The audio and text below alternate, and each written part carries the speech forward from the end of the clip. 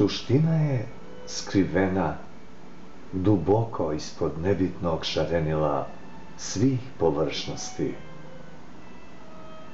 Jedva primjetnu, gotovo nepostojeću, mogu je otkriti rijetki tragači.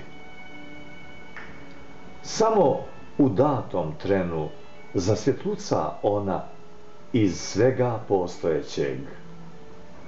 Tu glasnu svjetlost mogu dokučiti samo duhovne oči.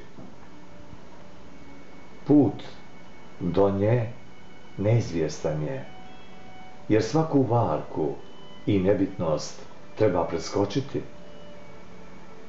Kad se pronađe suština, to bivstvo za kojim traga čovjek, obično se u istom trenu ukaže i smisao postojanja.